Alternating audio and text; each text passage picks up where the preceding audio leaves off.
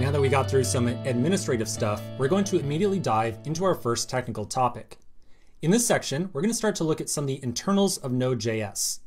Once we have a better idea of how Node works internally, we'll then be able to leverage that knowledge to write some more performant code inside of our applications. So let's get started right now. We're going to start off by taking a look at a very simple diagram. And then over time, we're going to come back to this diagram right here and add on a lot more detail to it to show you how Node is internally structured. So here's our first iteration. At the very top, we've got a box that represents the JavaScript code that you and I write. So this is the actual code that we place into JavaScript files and then eventually execute at the command line. When we run node and then index.js at the command line, we are invoking the Node.js project. Now, just like any other JavaScript project out there, Node.js internally has a collection of dependencies that it uses to actually execute your code. Two of the most important dependencies, and these are two dependencies that we're going to focus on quite a bit throughout this course, are the V8 project and the libuv project. The V8 project is an open source JavaScript engine created by Google. The purpose of this project is to be able to execute JavaScript code outside of the browser. And that's what we do when we run our JavaScript code from the terminal. The libuv project over here is a C++ open source project that gives Node access to the operating system's underlying file system. It gives us access to networking, and it also handles some aspects of concurrency as well.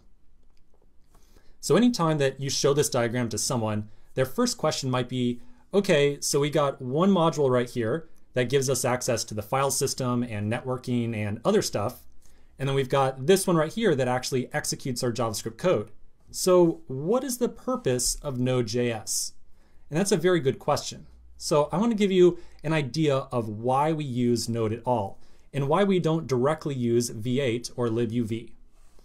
The first thing to understand is that internally, some of these other libraries are not JavaScript code at all. The V8 project is like 70% C++ code, and libuv over here is 100% C++. So chances are that you, as a JavaScript developer, you probably don't want to be writing C++ code all day. You want to write JavaScript code and just have it work. So that's one of the purposes of Node.js. Node gives us a nice interface to use to relate our JavaScript side of our application to the actual C++ that's running on our computer to actually interpret and execute our JavaScript code. The other thing that Node does is provide a series of wrappers and a very unified and consistent API for us to use inside of our projects. So for example, Node implements the HTTP module and FS, Path, Crypto. All these modules right here have very consistent APIs, and they all ultimately refer to a functionality that is mostly implemented inside of the libuv project over here. So again, you probably don't want to get access to direct C++ code you want to require in some JavaScript function and use a JavaScript function inside of your codebase. So by making use of Node, you don't have to work with all the C++ that exists inside of libuv itself. Okay, now we've got a better idea of why we use Node at all, let's take a quick pause right here and we're going to continue the next section and continue fleshing out this diagram. In the last section, we started talking about the internals of Node.js, and we had said that the purpose of Node is to give us a nice, consistent API for getting access to functionality that is ultimately implemented inside of V8 in libuv. I want to give you a very concrete and practical example of how this actually works behind the scenes. So in this section, we're going to go through a little bit of an exercise. And this is going to be a lot of fun, but it is going to revolve around kind of clicking around to a lot of different pages inside of our browser. So we're going to look at some different documentation and some source code, but along the way, you'll get a much better idea of what Node.js is really doing for you and me. So this exercise that we're going to go through is this right here. Here's what we're going to do. So at the very top, we're going to first start off by picking out some random function inside the Node standard library. We're then going to try to find where that function is implemented in the Node.js source code. So like the actual source code that comprises the Node project. And then once we find that source code, we're going to figure out how Node leverages and kind of wraps functionality that is implemented inside of libv8 and libuv. So this is going to be a really fun exercise and it's going to give you a much better idea of how Node is internally structured and how it works. So step one is to pick a function in the Node standard library. Now I had said that we were going to pick a random one, but in truth I already picked one particular function out and this is going to be a function that we're actually going to use quite a bit later on inside the course as well. So the function that you and I are going to investigate is called, well, let's pull up an example of it right here. Here we go. It's going to be a function called pbkdf2. So that's the actual function name right there. And I know that's a really weird function name. It's the name of an algorithm that is used for hashing some arbitrary data. So this is a function inside of Node's crypto library. And usually it is used to hash a password for storage inside of a database. So again, I know it's a weirdly named function, but it's just the name of some hashing algorithm. That's all. So let's take a look at the actual implementation of PBK DF2 inside the Node codebase.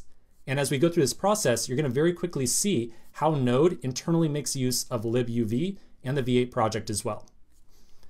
All right, so I'm going to pull up the Node.js source code on github.com.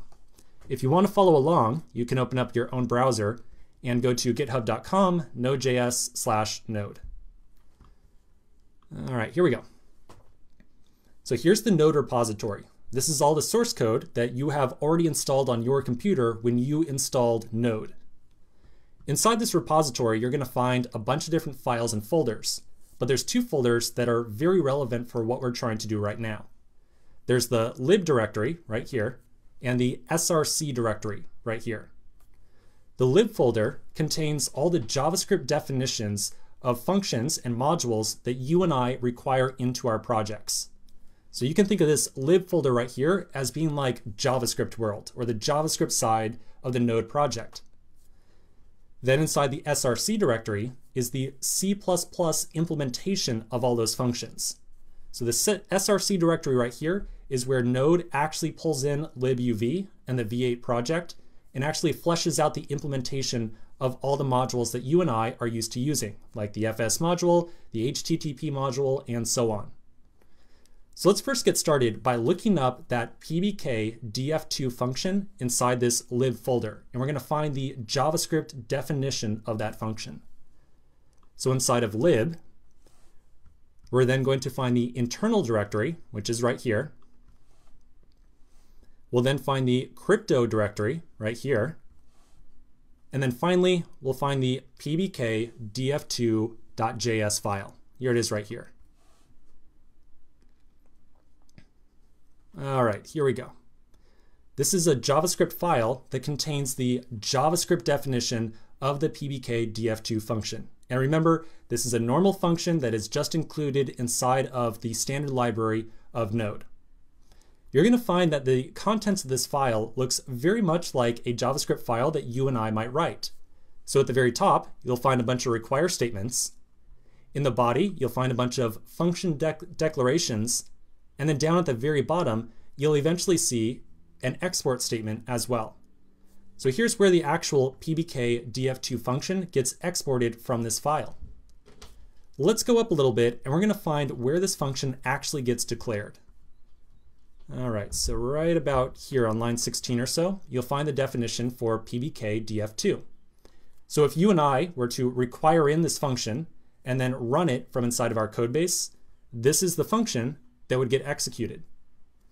Now this next part that we're going to go through is going to be just a little bit complicated because I'm going to very quickly kind of run through some of the source code that is executed anytime we call this function right here. But eventually we're going to end up on another part of the code base that starts to take us to like the C++ side of Node.js. So anytime you run this pbkdf2 function, it does a little bit of error checking, it does a little bit more error checking, and then eventually it calls underscore pbkdf2. So let's find the definition for underscore pbkdf2 and see what happens inside of there. So I'm going to scroll down and then on around line 32 or so, you'll find the definition for underscore pbkdf2. Inside of here, you'll again see a bunch of air checking, air checking, air checking, just a bunch of air checking stuff. You know, all this stuff is air checking. And then eventually, you'll see this block of code around line 72 or so. So right here, you'll see a call to another function called pbkdf2. And it takes in all the arguments that were passed to our current function and passes them to this pbkdf2. So this right here is where that hash is actually calculated. Essentially, Node.js takes all the inputs that you provide to this function and it forwards them on to the C++ implementation of this function. So this pbkdf2 thing right here, in all capitals, this is a C++ function. Let's see where this thing actually gets required into this file. If you scroll back up to the top, you're going to see around line 9 or so where we require in pbkdf2, and that's coming from a very unfamiliar looking require statement. So this says process.binding and then crypto. This line of code right here is how Node.js joins up the C++ side of its project to the JavaScript side. So I'm going to show you another diagram that's going to help flesh out the process of all the code that we've looked at so far. All right, here we go. So at the very top, again, is our JavaScript code. Then we went into the Node JavaScript side of the Node repository to look up how that function, pbkdf2, actually gets defined. We looked up a file inside the lib folder, which is all the actual JavaScript code works, and we found that eventually it looks like that pbkdf2 function is defined from something called process.binding. That process.binding thing is what connects the JavaScript world to the C++ world of the Node.js project. Let's take a pause right here. I know we're in the thick of things, but let's take a pause right here. We're going to come back in the next video and we're going to start to explore what that process.binding thing does and how it joins up to the C++ side of the Node project. So quick break and I'll see you in just a minute.